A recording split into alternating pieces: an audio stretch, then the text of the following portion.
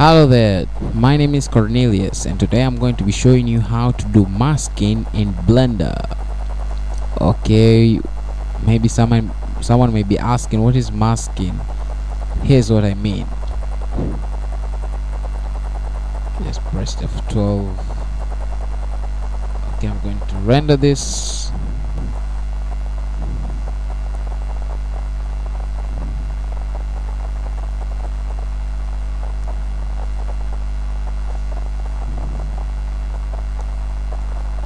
Okay as you can see now in this scene I was creating my friend Emmanuel doing earth bending using blender. Actually let me let me give you actually the main point of masking. Okay so I have masked him as you can see here.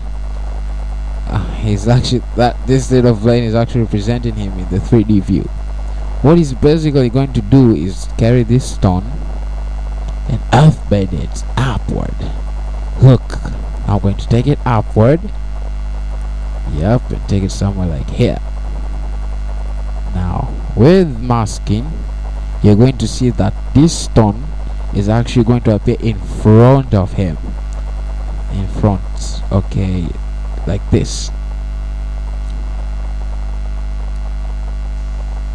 oops the stone was poorly textured. Actually this was incomplete. Sorry. Yep. Anyway. Here's what I mean. You see now I have masked Emma Emmanuel actually we call him Emma for short. And what happens is that this stone appears to be in front of him. As you can see here the edges and the edges and all these things it appears to be in front of him. But look what happens when I don't use masking I take this his mask to another layer. Press, I'll press M and then press 2 bam. Okay there. Now when I press F12 to render look the difference. Just as it appears now. Now the stone appears to be behind him which is not actually something that you want for example okay you want this stone to appear in front of him. So I think you get the point of masking. So what basically masking does is that is it makes this person over here to look like he's behind something or in front of something however you want it. That is just one of the use that I've shown here. So how do you do it? Very simple. I'm going to show you how I did it I don't want to start all over again but I'll just show you how I did it. What I basically did was like uh, let me put take it to a new scene. Uh, okay. There. New cop no, copy settings. Boom. There we have it. I wonder if they got the part okay. So here we have it. So what I did actually I press shift A add mesh plane. I took the plane I rotated it uh, ara x 90 degrees press enter go to edit mode select one vertex and press ctrl I delete the other X vertices boom now I have my vertex I'll take it here okay so like I'll take it. I'll start from the foot I mean the feet. Take it over there. To make to make this easier I'll uh, enable screen screencast keys. Is it? Okay. Start display. Okay so I I hold on control. I'll take this off. It will be like a distraction. Okay I'll zoom it in to have a better view okay I what I did is like hold control and start clicking. And it uh, extrudes automatically. So like I'm masking him. Uh, you can do it. Better. I'm actually in a hurry. I don't want to put this too long. Some people complain like they have low bandwidth or something like that. So like that. So uh, at least you get the point right? I don't have to finish this when you're done for example just give you an example you press all of them I mean you select all of them press A and then you press control F then you click uh, that uh, fill? Something like that but it won't work here. I think you need to start like create some of the faces. Oh oh actually you can do it manually. Select like four face I mean vertices or three then you press F. There you have it a face. Then you do it for like the whole thing. Maybe after you've done something like this you know. Yeah. Actually I don't want to waste time. Okay so you have it. When you already like created a mesh in front of him make sure that it's facing the camera because actually I was on the front view so make sure it's going to be facing him on the on the camera view. Go back to my scene.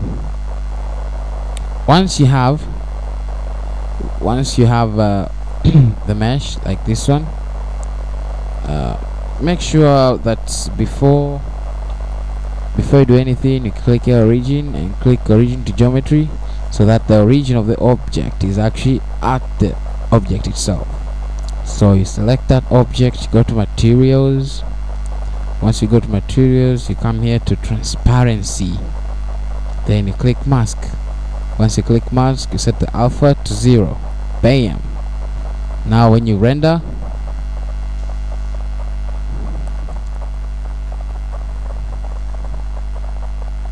your object I mean your human being has been masked. And now the objects will start appearing in front of him instead instead behind. You can even add some cube yep some cube uh, shift a and mesh cube. Okay click this. So if I set this cube in front of this mask I'll call it mask it will appear in front of him in the render. And even it even has shadows. Look at the magic. Even it is even casting shadows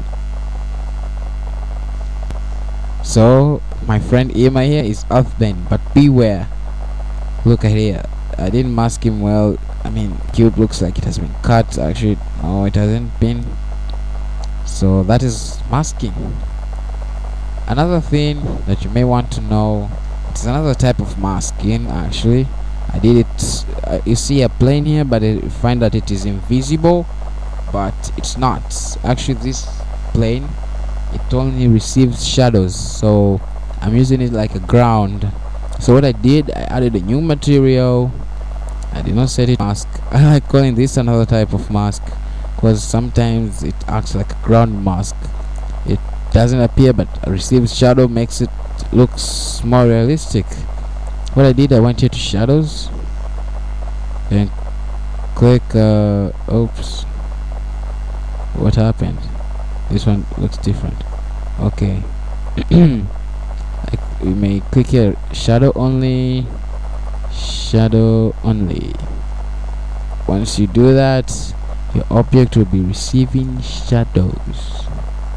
But I think something is wrong with this one. But actually oh oh oh okay.